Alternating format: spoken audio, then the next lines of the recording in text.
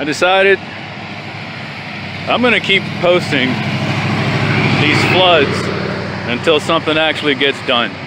So here we are next to still at Armour Drive,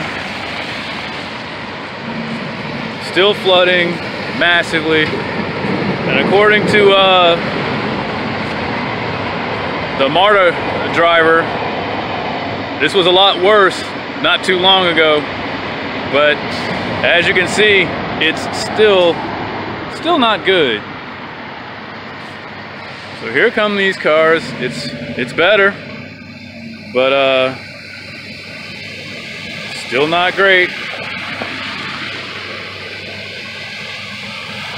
Folks still need to do something about this.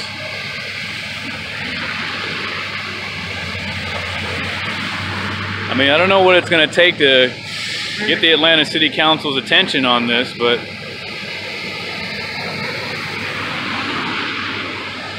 you know, maybe if we just post these things with freaking surf music behind it, that might actually get people's attention.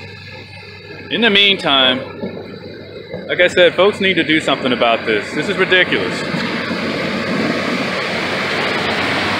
So apparently the commute earlier in the morning was a lot worse.